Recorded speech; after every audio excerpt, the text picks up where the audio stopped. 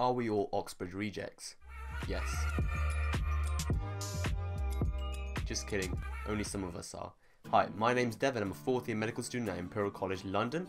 Today's video is going to be addressing some of the stereotypes and myths about Imperial College London. So before I get into the main crux of the video, just a little bit of background about Imperial College London. Imperial is a university located in central London in the United Kingdom. Imperial has many campuses dotted around central London and west London, with the main ones being in South Kensington and the main medical campus being in Hammersmith.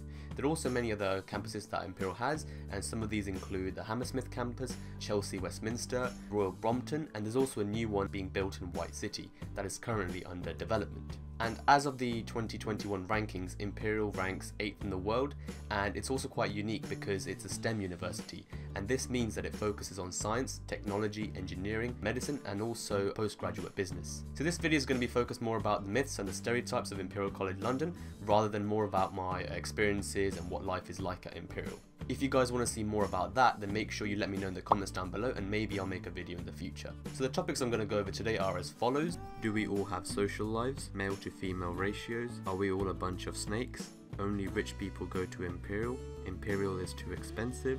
Are we all nerds? Is there too much workload? And mental health support. I will put timestamps in the description below and also on the video there will be chapters, so feel free to scrub along to the appropriate topic that you want to hear about. With that said, let's jump straight into the video. So do Imperial students have social lives? The short answer is yes, although I believe this is heavily dependent on the person themselves. Now you could be the guy that goes to the library and does all the work, or you could be the guy that doesn't go to any lectures, doesn't do anything, and then crams it right in the last second, or you could be the guy that's in the middle who does an appropriate amount of work slowly over the, the whole year and then also has a lot of fun. So that's up to you and if you manage to get that work-life balance.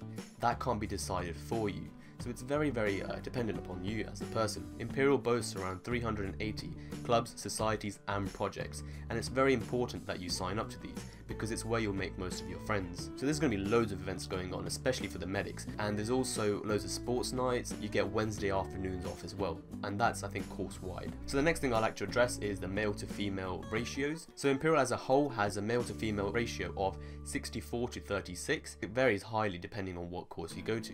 Something like engineering might be 5 to 1 or medicine is like 50-50 and then biology is predominantly female I think. So it really varies. If you look at the graph on screen now you can see that there's a trend with females rising higher than the male intake. The gap is decreasing but over time we're all a bunch of snakes. I think we have an appropriate amount of snakes. It's not more or less than the average university. So I'd just like to pause for a second give you guys the opportunity to drop a like if you guys are enjoying the video. It only takes about 3.7 seconds on average but it really helps the channel out so make sure you do that Alright, thank you. So the next thing is that only rich people go to Imperial. It is in fact true that Imperial's South Kensington campus is located in one of the most expensive postgrads in the entire country.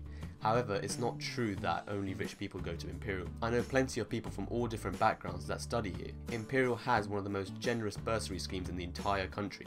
It offers up to £5,000 a year, and obviously as is the bursary, it's free money, so it goes into your bank account and you can do whatever you want with it, no questions asked. And it's based upon a sliding scale for home undergraduate students, up to the household income of 60,000. And there's also scholarships provided, so make sure you check the website to see if you're eligible for those. And because you're living in London, Student Finance England also provides you with about £3,000 extra, so I know you have to give this back, but for the people that want the financial support, it is there available. The next thing is Imperial is too expensive. This ties a little bit into the previous topic, and I do understand that London is very expensive, much more so than the rest of the country. Now despite South Kensington being very expensive, Imperial does provide on-campus accommodation. There are three of those located. They offer prices starting at 150 a week for a shared room. Now I get that 150 is still very expensive, but for South Kensington it's a once in a lifetime opportunity and if you can afford it, it's worth going and living there.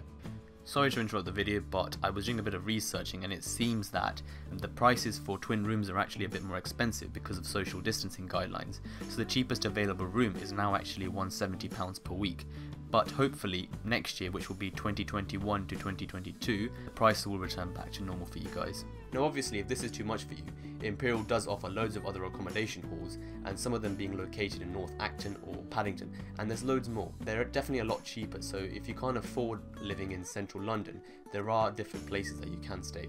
Are we all nerds?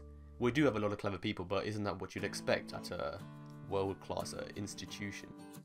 But I think there's definitely a variety of different types of people ranging from uh, all spectrums, just like you have at all universities. It's not that we're all a bunch of nerds, it's a stereotype that isn't true and I can tell you that for sure. Is there too much workload? I think this is a very course dependent thing and so I can only give a medic's perspective.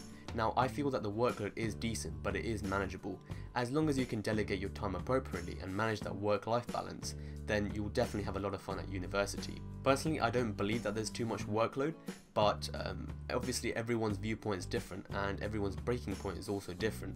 So if you're struggling with the workload you need to make sure that you access uh, appropriate help sooner rather than later as it will hurt you in the long run. You should also know that the kind of institution Imperial is, you should expect a fairly decent workload compared to other universities. Make sure that you know this before you apply. The final thing I'd like to cover is mental health support. Now I know that this is a very very important topic and you guys have probably heard that Imperial doesn't have a very good record at managing student mental health. Unfortunately though, this is a very hard topic for me to address and I'm not in a position to be able to answer that. However, I know people that have needed help and Imperial does provide help to its students, but these people feel that Imperial should have done more and something a bit sooner. And therefore what I'd say is for you to actively seek help. It won't be provided to you automatically. And to end this on a good note, no pun intended, but Imperial is trying their very best and they are getting better. So this brings the video to a close. I hope you guys did find this information useful and it answered some of your burning questions that you may have had and hopefully this helps you decide whether you want to apply to Imperial or not. If you have any other questions make sure you let me know in the comments down below and if you did enjoy the video make sure you drop a like and also comment that you liked the video. Subscribe if you want more content like this and with that said I hope you guys have a good day. I've been Devify and I am out.